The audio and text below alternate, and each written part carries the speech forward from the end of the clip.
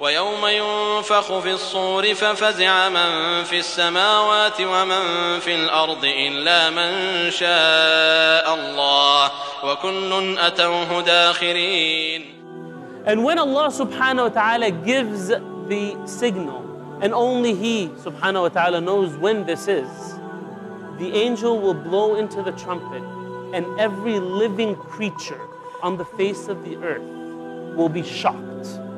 فَصَعِقَ مَنْ فِي السَّمَاوَاتِ وَمَنْ فِي Everything will be shocked except for a couple of angels. These angels are Israfil, Mikael, Jibril, the angel of death, and the angels that hold up the throne of Allah. And after everyone is shocked and dead, Allah will ask the angel of death, Who is left alive? And the angel of death will repeat what I just said Israfil, Jibril, Mikael, and the angels that hold up the throne of Allah, me and you, Ya Allah, and you are the one that does not die. And Allah will tell the angel of death, Take the soul of Israfil. Then take the soul of Mikael.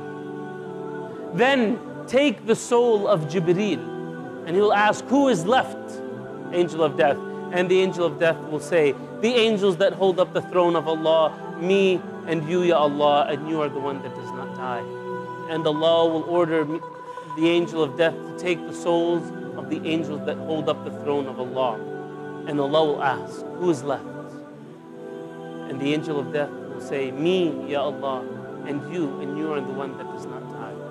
And in a narration, Allah will tell the angel of death, Go and take your own soul. And the angel of death will go to a land between the heavens and the earth. And he will take his own soul in a scene, brothers and sisters, that's described that from the, the, the scream that the angel of death will produce, if the people of the world were alive, they would have died again in shock. And that the angel of death would say, If I knew death was so painful, I would have been more merciful on the souls of the believers. And then Allah will ask, Who is left? But no one will answer. Who is left? But no one will answer. لمن الملك اليوم? To who is kingdomship today? Nothing answers. There's nothing but Allah.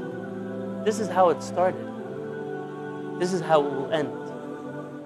Nothing alive, no atom, no cell, nothing there except Subhanahu wa ta'ala, the creator of all